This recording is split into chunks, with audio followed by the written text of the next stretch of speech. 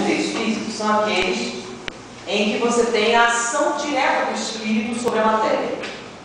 Então o espírito age diretamente. Para que isso aconteça, ele se utiliza, por exemplo, aqui, ó, o espírito aparece, aqui é uma materialização do peixotinho. Isso aqui é um espírito materializado, uma jovem. Aqui você vê o ectoplasma, a informação do espírito. Tá? Isso é um fenômeno de efeitos físicos.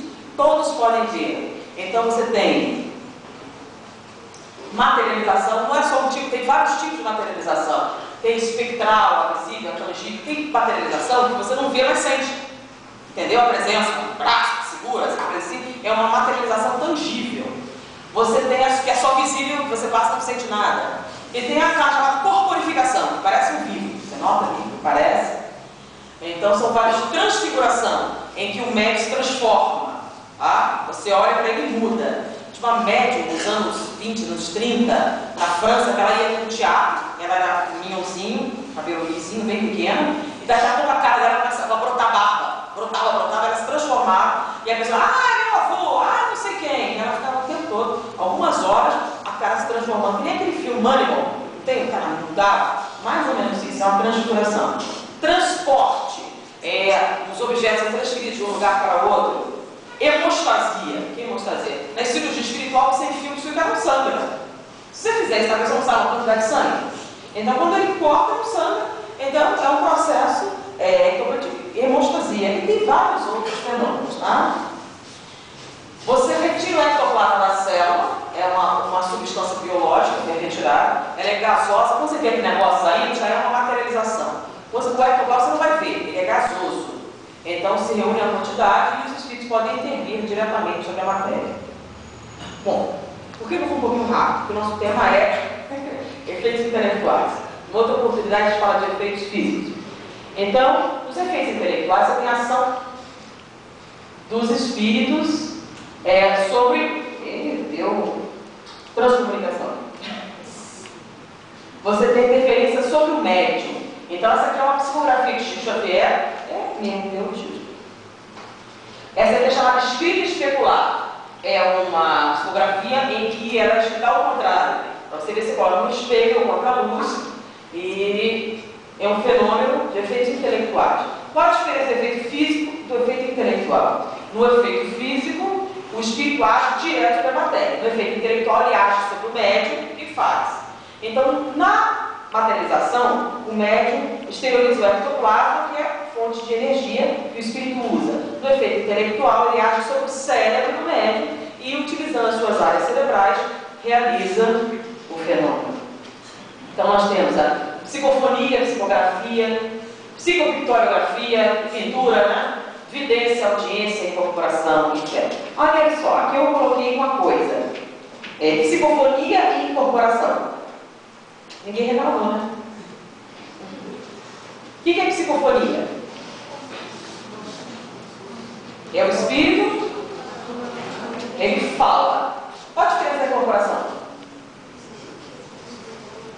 Primeiro, o nome incorporação está errado, né? Porque o espírito não entra no corpo de ninguém. Mas, como o nome é uma tradição, então, então qual a diferença de incorporação e psicofonia?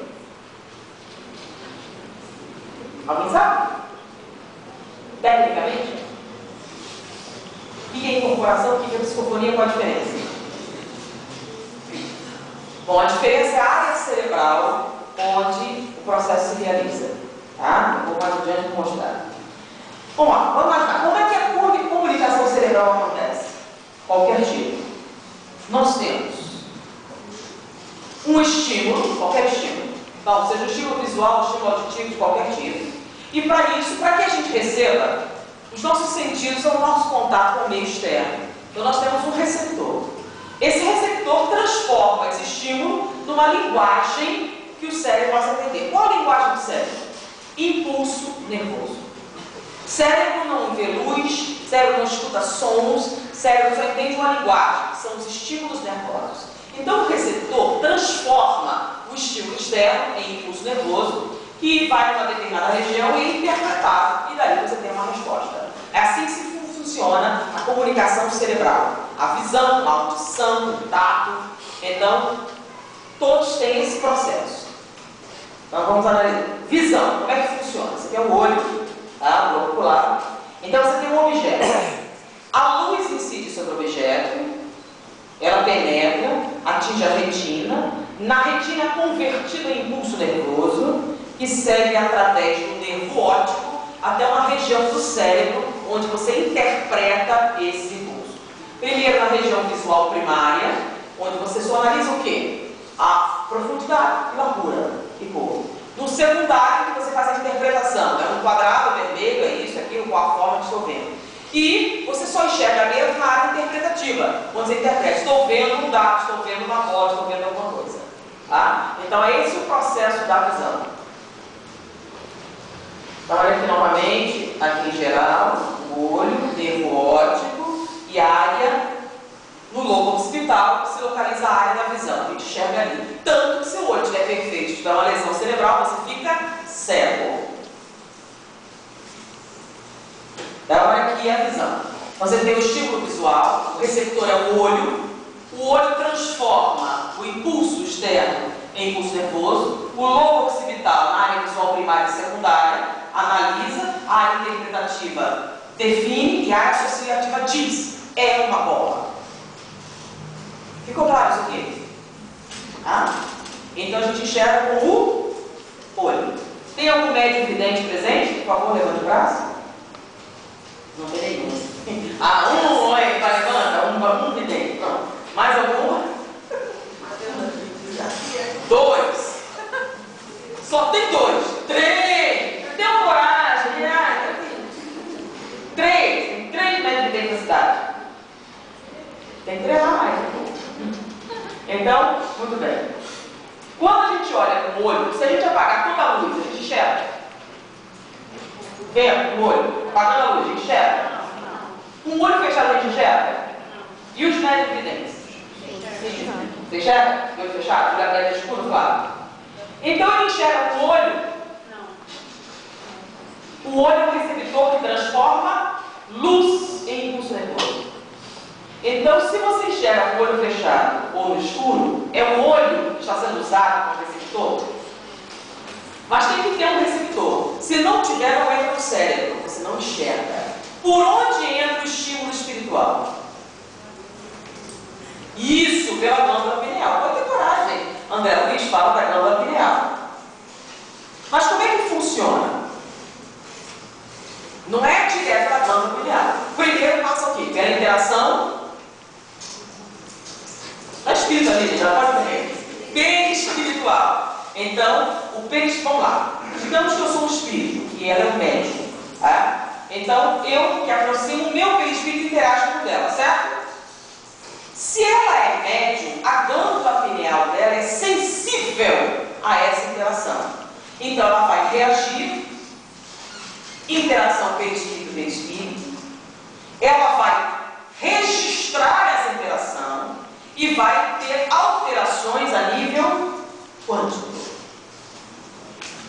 Nesse momento em que ela se altera a nível quântico, ela gera impulso nervoso.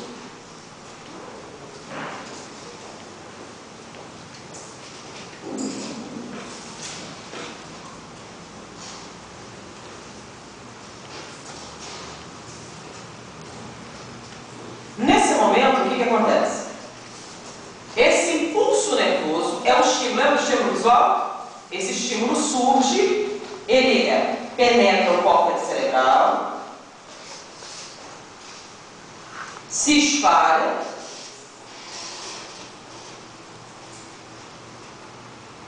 e dependendo da área onde ele se localiza, você traduz esse estímulo como? Se for numa determinada área, como audição se for em outra como visão, em outra como intuição, em outra como incorporação, em outra como movimento motor qualquer. Então você não precisa só pintar, você pode dançar mediunicamente, tocar piano, um monte de coisa, tá? É a tradução que você faz. Ó. Então, lembram no primeiro desenho que o estímulo vinha pelo olho? Aqui ele está vindo por onde? Ali é a localização da glândula pineal. Então o estímulo surge e se localiza nessa região que é o lobo occipital. Logo, que tipo de faculdade ele vai desenvolver? Visão. Ele é um médium vidente. Então, olha só, mesmo esquema anterior. Você tem, em vez de um estímulo físico, um estímulo espiritual. Qual é o receptor? Glândula pineal. O que, que ela faz? Ela transforma o estímulo espiritual em impulso nervoso. Por isso a mediunidade pode ser detectada neurologicamente.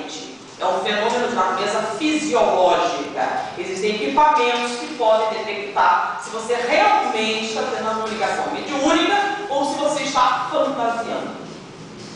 Como é que pode? Tá? Sorte que não tem aqui, né? Então, o lobo occipital, que é a área da visão, você faz o mesmo processo que faz o quê? Lembra da visão? A única coisa que mudou aqui foi o quê? A origem do estímulo e o receptor, mas o resto, tudo exatamente igual.